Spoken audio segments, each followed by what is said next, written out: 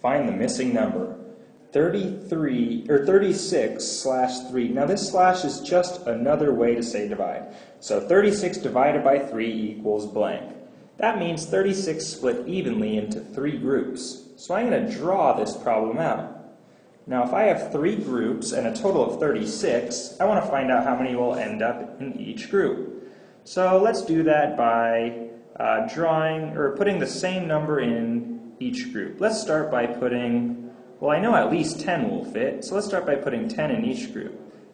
There's 10, 11, 12, 13, 14, 15, 16, 17, 18, 19, 20, 21, 22, 23, 24, 25, 26, 27, 28, 29, 30. So far we have 30 split evenly into three bags.